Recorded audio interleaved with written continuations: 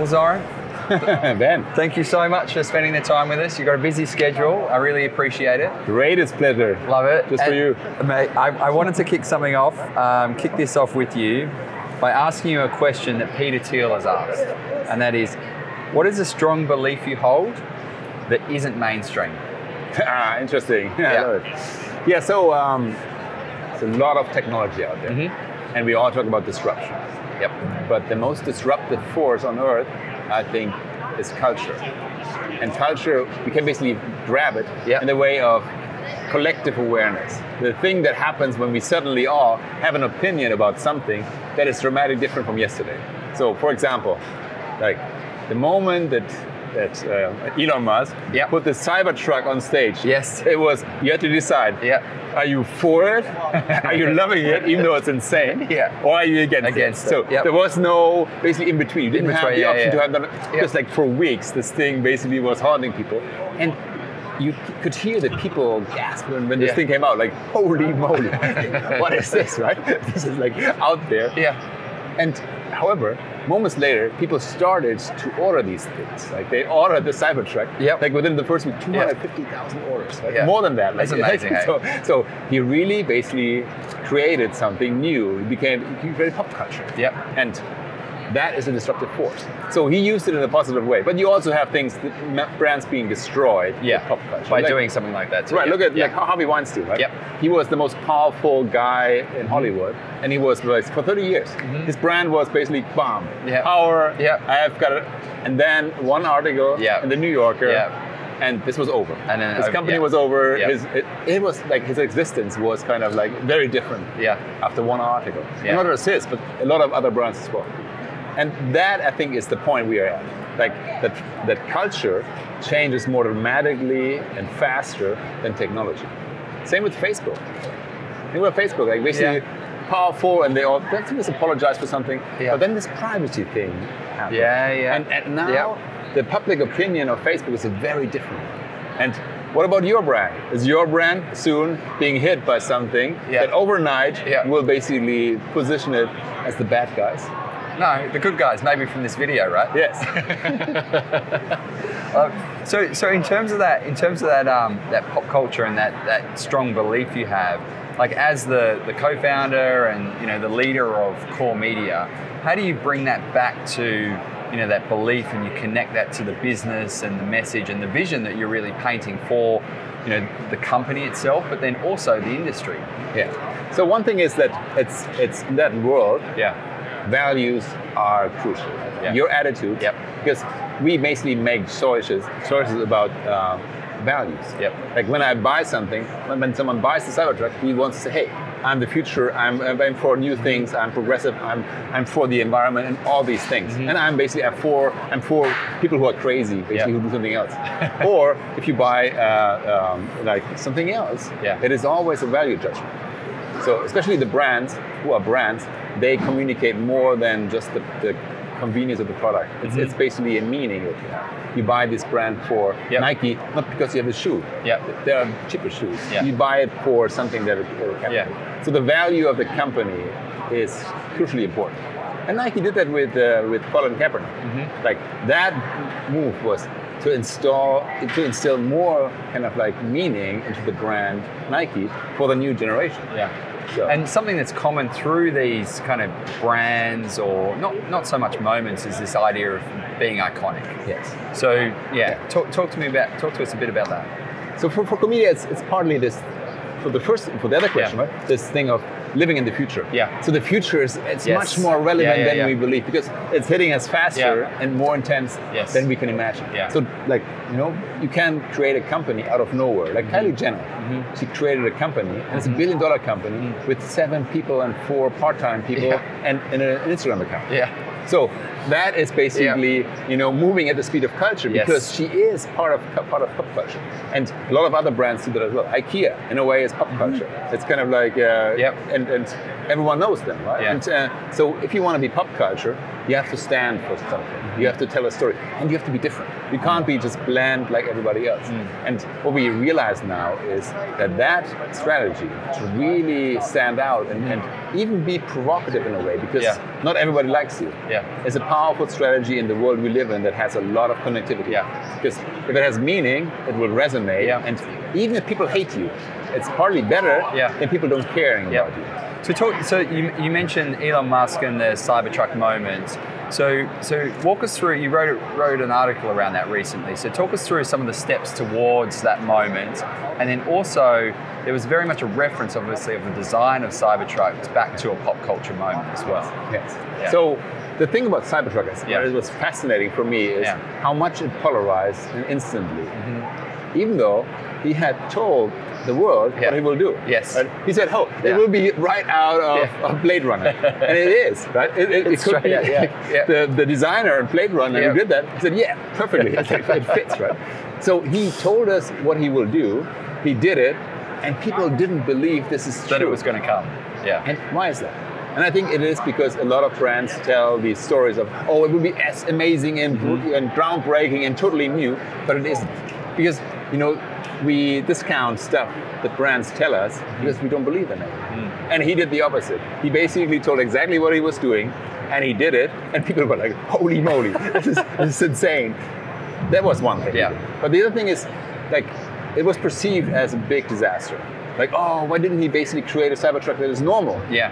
like a normal truck, like a little bit Tesla, Yeah. but normal. And then the window thing as well. And then the window Yeah. thing as well, like Yeah. oh god, oh like basically Yeah. the, the stock market said, oh, this is basically a disaster, yes. like nobody will buy this.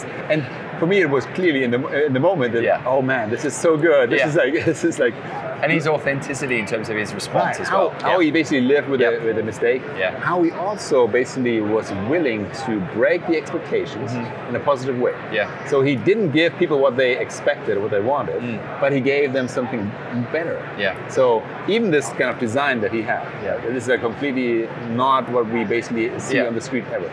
It was at the end meaningful. It was even smart Mm. because this design enabled him to make this truck much cheaper than the normal trucks. Mm. Yeah. Because like a normal F-150 Yeah. with a little bit six seats is more expensive than this thing. So okay, and then you get you get a version that is faster than the Porsche. Yeah. So basically, he's willing to attack these iconic other Both of those, yeah. Both Yeah. of them at Yeah. the same point in time, yeah, yeah. and create something that nobody needed, Yeah. but that everyone loves or hates. Yeah. So I love that. Yeah. Then the second thing, he basically the way he handled the, the mistake, right? Mm. Just like breaking the glass. It was brilliant. It, it helped them as well because everyone was talking about Yeah. it. And he didn't try to basically fulfill some expectations. He went to a place that was completely new. Yeah. And he and he said earlier, okay, if people don't like it at the end, we might build a more normal truck. A more sensible or normal looking. So, yeah.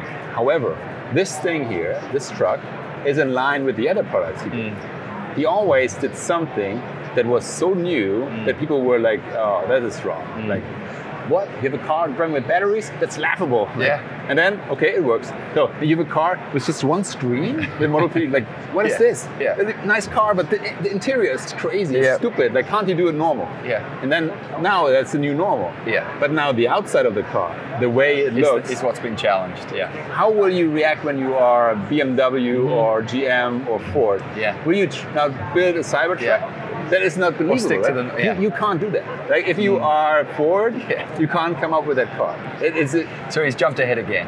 yeah, because Yeah. it's authentic. Yeah. He he's a gamer and he's in this pop culture, so he could do it. But for the other brands, it's impossible to Mm. copy right away. Mm. So it's really differentiating. It's like for a long time. Yeah. So how how like not everyone's Elon Musk. You know, not, not everyone has the the, the the platform that he has and how he's um, what he's set up around Tesla as well as a brand already in, through what he's done over time. How, how does a how does a you know a, a- a normal brand, if I can say that, a non-Tesla brand, think about you know moving at the speed of culture and taking it taking an opportunity that might present themselves at you know the Super Bowl you know, as we've seen in the in years gone by. Like, how, how do you set yourself up to be ready for something like that, to, to really be iconic and to move forward like that? Yeah. So one thing that is interesting, the more you try to avoid mistakes, Yeah. and are clean, sterile, Yeah. the more every little mistake Yeah. will basically hit you in the face. right? Yeah. So, but if you are more human, Yeah. if you basically have someone like Elon Musk who Yeah. basically does stupid stuff on Twitter, then making a mistake Mm. is not that relevant anymore. Or when you are like Donald Trump, like he can do a lot of stuff, Yeah. and it's it's not affecting him Yeah. anymore because he is basically authentic in, in where he is. So, you, so, so translating that, you mean thro- throwing yourself out there as an authentic leader, Yes. and being comfortable with those mistakes, taking Yeah. risks and basically Yeah. just gonna accept the fact that you Yep. screw up and, and live with it and, Yeah. and how you handle it Yep. and not pretending to be perfect Yep. It- it's a gets you far Yeah. but then the second thing is this playfulness Yeah. like Elon Musk like everything is pop culture there right Yeah. the names Yeah. of, of and the dial to 11 Yes. and, Yep. and you know landing rockets Yeah. it's all pop culture Yeah. or this like spaceman in Yeah. the Tesla going to Mars it's completely insane but normal brands can do that as well. Mm. Like uh, IKEA has this, uh, you know, Knut. Yeah. It's basically this thing of uh, after Christmas, and then Oh, you throw out the Yes. Yes. out of the window, and Yeah. they celebrate that, right? Yeah. And they basically play with that idea, Yeah. and it's, it's great. And Yeah. I think more of that is Yeah. a good idea. The next level, though, would be what if you react to what's happening? Mm-hmm. So this example that I like is um, is Burger King. Yeah. There was um, this famous tweet by uh, President Trump uh, about the hamburgers. Mm-hmm. Oh, yes. hamburgers. Yes, yeah, the spe- All the sp- yeah. Uh, the spelling. Spelling, and, yeah, yeah, yeah, yeah. and uh, it was funny. And then, but then Burger King came and said, you know what? They later, um, we are out of hamberders. We only have hamburgers Yeah. because of a big order yesterday. And so everyone was laughing. 500,000 like likes and retweets and, and a lot of a lot of content created by the people. And that was for one tweet. The tweet, it cost the tweet like Yeah, nothing. nothing, Like, like a, yeah. it's a little bit of Yeah. creative. A little bit of thinking there. And However, yeah. that was attention. What have been Mm. that would have been much better is what if you basically had put the hamburger Yeah.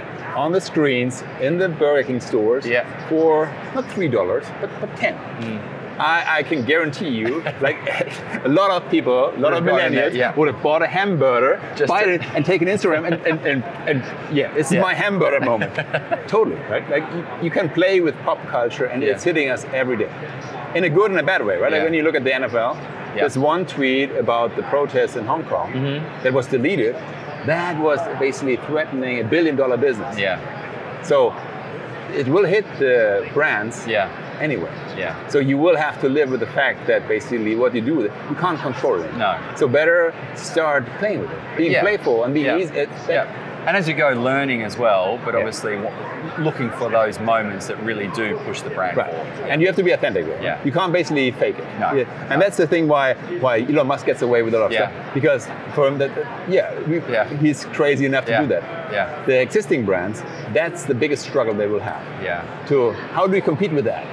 Especially organizing like how do you how do you propagate authenticity through a team that Yeah. sometimes has process and control and sign off how do you kind of relinquish that Yeah. to a point that allows for speed and you know Right. moving at the speed of culture Right. Right. And there are uh, even Yeah. B2B companies that seem boring, but they aren't. Basically, we have the company Emerson, right, Yeah. as a customer, and they have Facebook pages Yes. for a uh, drum with a lot of wire on there. And Yeah. So basically, even instru- they, Yeah. they go to all these places, Yeah. and that's fun, right? Yeah. Because there are people who care about Yeah. this, and they, they like that. Yeah. So why not do it in a fun Well, way? that was the, that was the question I was going to ask because you know it, it on on face value, most people would say it'd be, it's easier to be iconic and move with the speed of culture if you're a B2C brand, right? Because you are selling to the culture and to you know end consumers.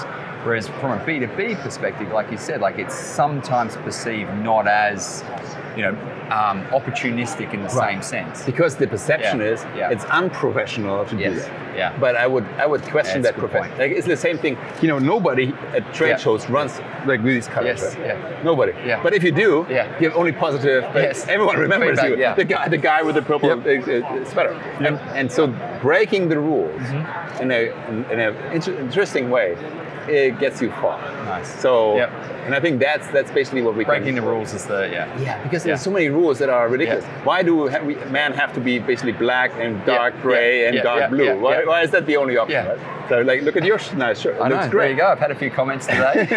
exactly right. So, and and being irrelevant, being forgotten, that's the problem. Yeah. Being interesting. So, in a way, what Elon Musk tells us is everything is entertainment. Yeah. So someone said, well, Tesla is an entertainment company that happens to sell cars. so that's what, how they monetize. That's how they but get- yeah. It is an entertainment company, and you could see it that way. Basically, the mind share that they have, Yeah. their iconic brand globally, for years is everyone is talking about Yeah. them, but they don't sell that many cars actually compared with General Motors and Well, So, so in terms of that, so sales and let's let's talk numbers and what you know. If you move at the speed of culture and you're being iconic, you know, how do you what what what does that bring? What value does that have to the business? and you get- and, and then yeah. the tricky question for you: How do you measure it? So the first one is like you get a lot of Yeah. attention Yeah. and relevancy, Yeah. and basically even fans for free that you can't buy. Yeah. So the the engagement that you Mhm. reach when people love your stuff because basically it's entertaining Yeah. is much deeper than when you basically put ads on it. Yeah. Right? Basically, you can't you can't buy that kind of advocacy. Well, it comes back to authentic, authenticity well. Right. Yeah. So they identify more with your brand. Yeah. And they also you have like the attention that Tesla gets every day. Yeah. For one tweet, Yeah. that he sends out Yeah. is, is more than you can buy. Yeah. He would not be able to afford that. But Yeah. it's, it's billions and billions Yeah. that you don't have to spend. Yeah. So in a way, he's much more profitable by being iconic. Yeah. The same, same with Kylie Jenner.